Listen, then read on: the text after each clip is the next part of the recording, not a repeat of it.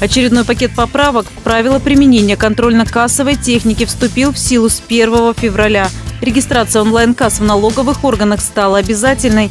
Также поправками введено использование фискального накопителя и передача данных о продажах в налоговую инспекцию. Кроме того, новая кассовая техника предусматривает печать QR-кода, который содержит все сведения о покупке.